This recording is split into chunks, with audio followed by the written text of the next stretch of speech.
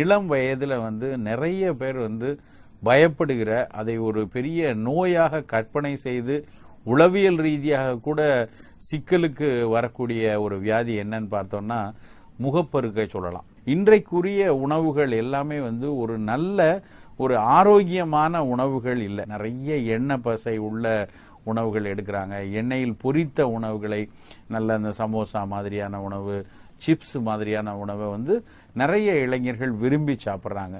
அது மட்டும் இல்லாமல் பல ready to eat snacks and ஃபுட்டை வந்து நிறைய எடுத்துக்கிறாங்க. இந்த மாதிரியான உணவுகளை எடுக்கிறதுனாலையும் உடலின் உள்ள இருக்கக்கூடிய மெட்டபாலிக் ஹீட் அதுதான் பித்தம்னு நம்ம தமிழில் சொல்றது.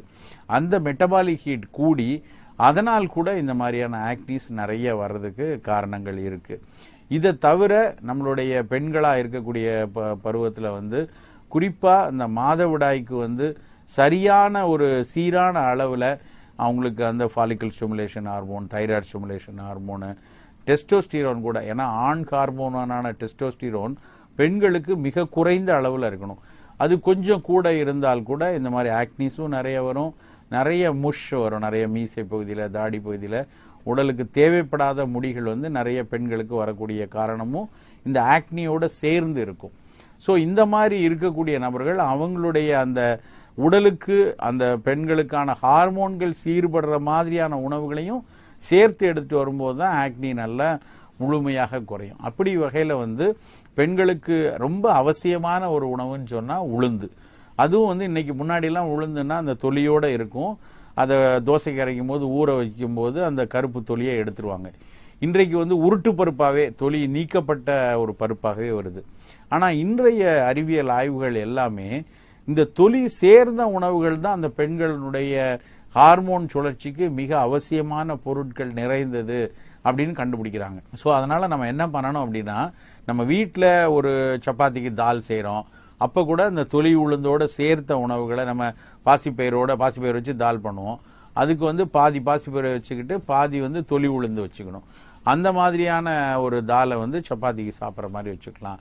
இட்லி ஆட்டும்போது கூட வந்து தொலி உள்ள அந்த உளுந்தை சேர்த்து ஆட்டிக்கொள்ளலாம் உளுந்தங்கஞ்சி உளுந்த வடை உளுந்த தோசை இந்த மாதிரி உணவுகளை நம்ம எடுத்துக்கிட்டே வந்தால் கூட பெண்களாக இருக்கிற பட்சத்தில் அவர்களுக்கு அந்த ஹார்மோன்கள் சீராக வச்சு ஒருவேளை அந்த ஹார்மோன் சீர்வேடுனால ஏற்பட்ட அந்த முகப்பருவாக இருந்ததுன்னா அது சீராகிறதுக்கு ரொம்ப உதவியாக இருக்கும். அப்புறம் பொதுவாக இந்த ஆக்னி வருது பிம்பிள் வருதுன்னா பித்தச்சூட்டை தணிப்பதற்கு முதல் மருந்து என்னன்னு பார்த்தீங்கன்னா தண்ணீர் தான். நிறைய இளைஞர்கள் பெண் குழந்தைகள் தண்ணியே குடிக்கிறது கிடையாது. அவங்களுக்கு தாக உணர்வு இருந்தால் கூட ஆட்டம் பாட்டத்தில் அது வந்து மறந்து போயிடும். ஸ்கூலுக்கு போகிற பிள்ளைங்க வீட்டுக்கு வரும்போது அப்படியே அந்த தனி பாட்டில் திரும்பி எடுத்து வரும் ஸோ அவர்கள் நல்லா ரெண்டு லிட்டர் ரெண்டரை லிட்டர் தண்ணீர் வந்து தொடர்ச்சியாக அருந்துறதே அந்த ஆக்னி வர்றதை குறைக்கும்.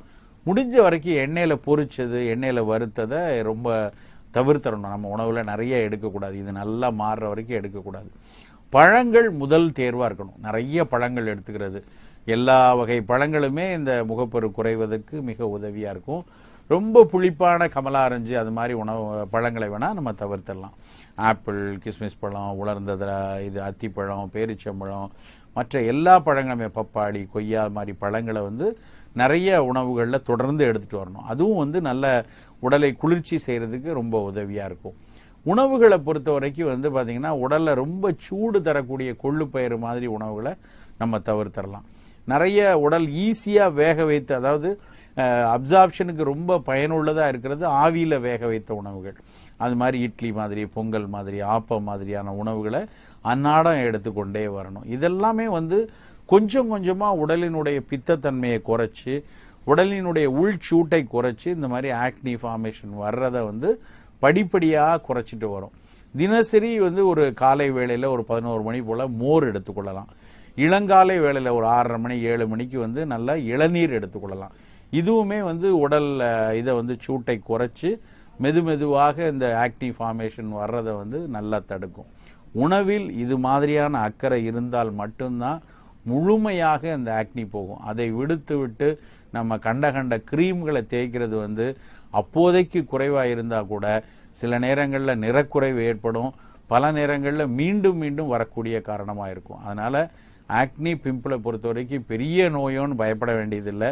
சரியான உணவு பழக்க வழக்கம் குறிப்பாக பழங்கள் நிறைய எடுத்தாலே இந்த நோயை